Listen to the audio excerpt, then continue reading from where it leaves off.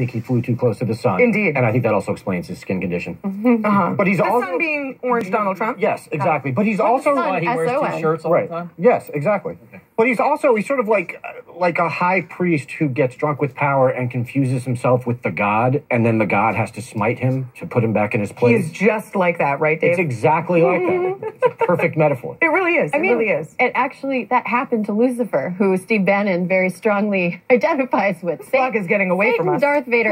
Um, I think I think that this kind of reckoning of, of Bannon is a real Schadenfreude hurricane for those of us who have ever felt themselves.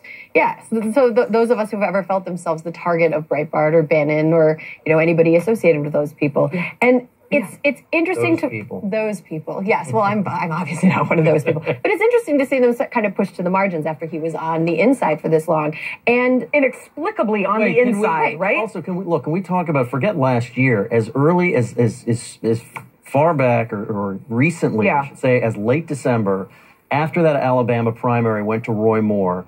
Donors were listening to Steve Bannon. Official Republican Party groups, county parties, state parties were inviting him to come speak.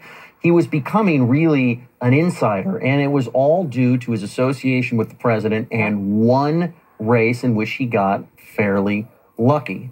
Right. And it all appears to have gone to his head. And he's finding out the reason Steve Bannon mattered is not because of Steve Bannon, not even because of Breitbart. It's because of his association with President Trump. The minute Trump cuts him off, yeah. the Mercers cut him off, the money's cut off. Donors have told me they're glad they were never seen with him for the ones Hmm. that weren't.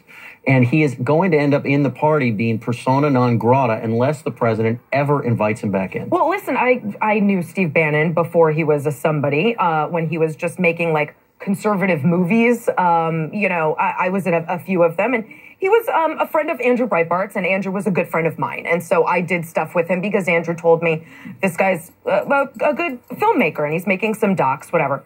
Never, when he started moving into Trump's inner circle, I thought this this guy really? This guy's not going to become a thing? And then he did my only concern is we are like prematurely dancing on the grave of Steve absolutely. Bannon. Oh, absolutely. If we are thinking this is the end of Steve Bannon, he's now in the dustbin of history.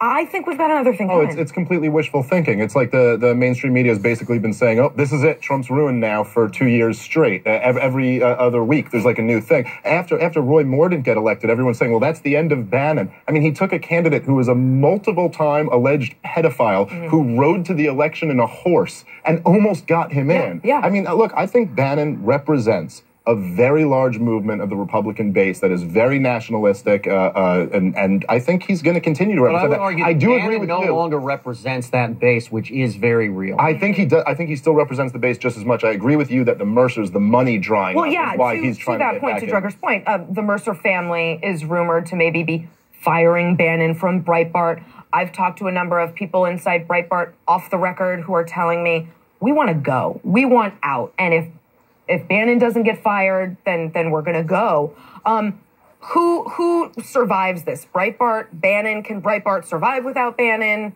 Does that break need to happen? I yeah, I honestly have absolutely no idea.